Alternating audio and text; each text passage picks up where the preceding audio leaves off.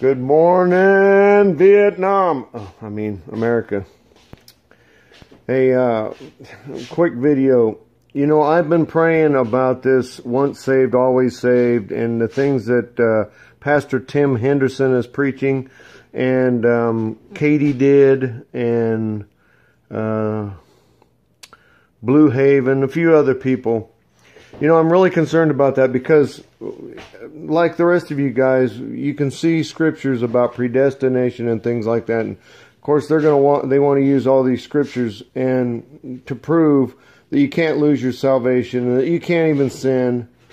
You know, and then if you have a dream, Tim Henderson will come against you and say, well, that was a demonic dream, even though, uh, you may have dreams that that even that come to pass that God has given you because the devil works against himself, right? And the devil wants you to be he wants to preach a gospel where you're you believe in righteousness and keeping your garments clean according to the scripture and all these other verses that talk about being presented as a holy spot a holy and spotless bride to Christ and um you know it's the same thing with the people that don't believe in the rapture they want to say that well you Christ is going to beat his bride up before he comes and picks her up. She's got to go through this thing where they cut your fingers off and torture your family and rape and murder and all this other stuff. And then if you make it through that, well then you're accounted worthy, you know.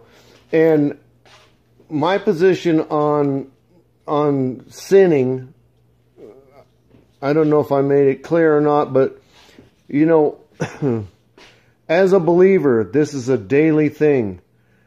The, the, the Bible tells us that we have to pick up our cross and walk daily with it.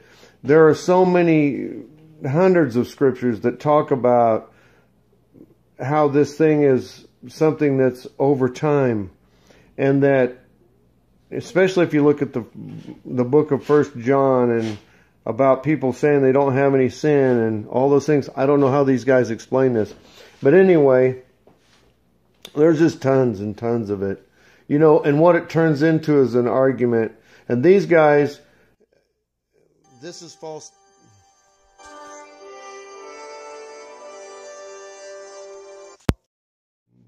Goofy phone call interrupts me.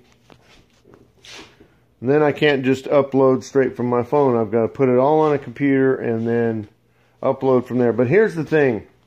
Look, I was praying about this because I love Sister Katie did, and I, these people, I don't want to have any arguments with them. I don't want to fight with them. I know where she's coming from. I went round and round with her a, a little bit on this. Here's the thing. I prayed about it. I said, Lord, is this true? Because if it's true, and I asked the Lord, I said, look, I put this video up, but I'll take it down if I'm wrong. I said, I need some guidance on this. And I said, tell me, can you tell me one way or the other? And the Lord hasn't been giving me a lot of dreams, you know, I mean, just sporadic here and there, you know. And so, uh, the day that I made that dream, Pastor Patrick and I talked and the Lord, the Holy Spirit fell and there was a powerful anointing and everything. But, um, here's the thing. I prayed about it, right? And I and I have a dream. And I've been really tired here lately because I'm I'm not feeling too good. But anyway, I have this dream in the middle of the night, and I wake up immediately after the dream. And in the dream, there's a man like either preaching or command or telling people what to do, right? He's given instruction on what to do, right? And I'm there and there's a woman a blonde-headed woman with short hair, and then there's a, uh, two other men. And this guy is telling them that the proper thing to do is to take their clothes off. He told them take your he wants them take your clothes off to make everything right and be and be right or be clean. It had something to do with being clean. You had to take your clothes off. And so they're like, well, okay, well, I guess if he says this is the way it has to be, well, it's got to be the truth. And they, and I was just astonished because they took their clothes off voluntarily and the woman laid down on like a, they had like a rack, like a set of racks, like, bunk bed kind of thing, and there were three of them. And she laid in between the two men, and they all took their clothes off too. And they lay, and the guy told them, "You have to take your clothes off and put them on the thing, and lay on top of your own clothes." And so, you know, I was embarrassed because I could see parts of her naked body when she laid down on that bed, and so could he. This guy that was was giving these orders, you know, and and I I even questioned him. I said, "Why are you doing this? Why would you want to? Why would you do this?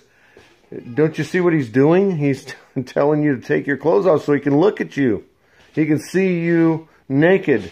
And the woman said, "Well, this is what we have to do." I trust this man. This is what he says, and this is what we have to do. And the other people were the same way. And then they were trying to get me to do it, and I said, "No way, I'm not doing that." Kitty cat wants out.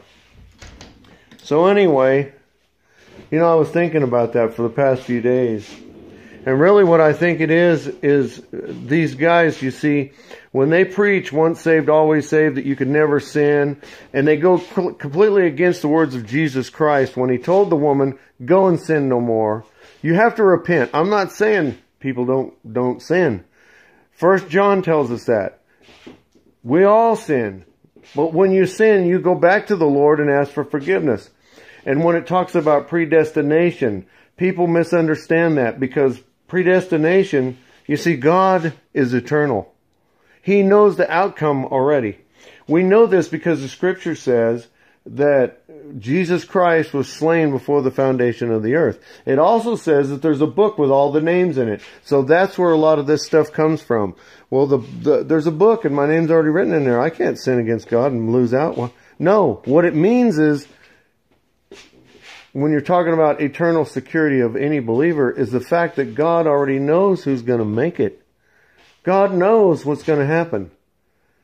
Before you do it, you see, He already knows what's going down. So, therefore, He can, He can see through time and see these part, places in your life and help you make it through it. But He also knows those who will turn against Him, just like He knew that Judas would turn against Christ.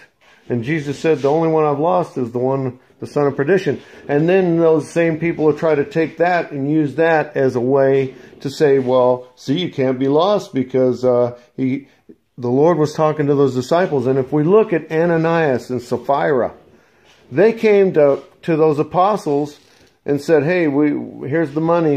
And they said, well, is it all of it? First, her husband came.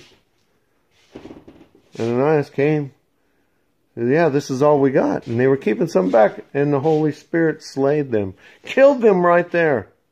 And then here come, killed him, and then here comes the wife. A few minutes later, or 30 minutes later, whatever it was, she says the same lie, and the Holy Spirit kills her too. And that's Peter was right there when that happened. You know, and these people want to say, "Well, God's not going to do that. What God is love, and God, He sure is." But God is also a just God. And God is the God of the Bible. And the Bible talks about how we have to, on our part, we have a thing that we have to do. God provides salvation. It's a free gift by grace. It's unmerited. And what it means by unmerited and uh, by grace is that um, this unmerited thing is is something that uh, God is not respecting people. In other words, if you're a Jew, well, you get it, and the rest of them don't. Or if you're a rich person, or you're in a certain family lineage, that's what he's talking about. He's talking about it's available to everyone equally, but you have to take it. You have to go up there. When God's Spirit comes to you and He talks to you and, and, he, and He convicts you of sin, you have to say, Oh, I'm sorry and then repent and then begin walking a Christian life. The Bible tells us to take up our cross and walk daily. The Bible tells us to resist Satan and he will flee. Why does it have all these scriptures about resisting, about fighting the devil, about putting on these this equipment to to battle the devil, you see? And then the Tim guy tries to say people that are going against his his his gospel that he's preaching are demonic possessed. And even those people that have died and came back to life, even the ones that believe like he did and were converted because they came back and said, hey, God said that's a bad doctrine. And, and so, you know, he's calling those people liars. And here we have Muslims. That's like in the Muslims, right? They're, they're killed on the battlefield and some of them see Christ. When they come back, they say, look, I saw Jesus Christ and they convert from Islam to Christianity. Okay? And then the Muslims are all going, oh, brother Muslim, you can't do that. Well, that's not right because Jesus Christ, we know he's just a prophet. Do you see? Tim is doing the same thing to these other Christians. And he needs to really get down on his knees and go back and pray to the Lord and say, God, what is the truth on this? Because what I saw was a man preaching to other people and telling, making them take their clothes off and sin against God. That's what the man was doing. And these people were like, well, I know it, does, it doesn't sound right, but I'm going to do it anyway, you know, because this guy's saying so. And whatever, you know, it's a hard walk. Let me tell you, I struggle, I struggle with sin too. Everybody does. And when I said in my last video, I said, well, there are different kinds of sin, you know?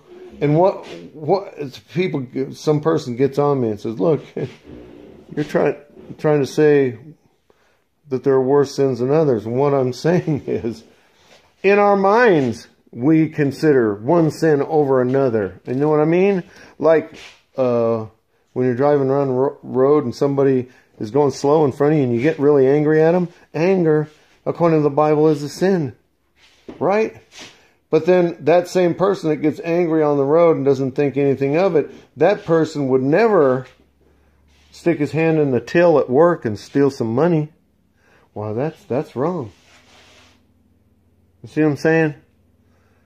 That's what I'm talking about. People thinking sin, one sin's different over the other. Stealing, taking extra time at work, and I try to explain that. And people, it's what what is so strange. I was in law enforcement for ten years, and I would you know sometimes I had to arrest people. I was I worked for the fire department as a fire prevention officer, and sometimes I'd have to arrest people. Sometimes I'd try to uh, you know I'd tell them things. I'd have it written down, written orders, and they would still misinterpret what the written orders were. Sometimes you see. Because that's what human beings do. You know? So, I think I got somebody out here. Anyway. Yeah. I'll, uh, I'll, I'll be right back with you guys and we'll say a prayer and get on with our lives. Thanks. So, let's pray real quick. Dear Heavenly Father, my brothers and sisters and I come before your throne. God Almighty, we ask that you'd help. Help us understand your precious word help us understand what Paul wrote about grace and the things in there that are so hard to understand, Almighty God. We ask that you'd bless my brothers and sisters and help them to keep their garments clean, to keep their garments spotless. God Almighty, and we know that these aren't works. These are things that we do because we love you. Works are the things when we go out and we give money to the poor and we help homeless people and we give a cup of cold water to somebody that needs it or help them in some other way, God. It's not us resisting Satan. That is not our works. Father God, we ask that you'd undertake in the mighty name of Jesus. Amen.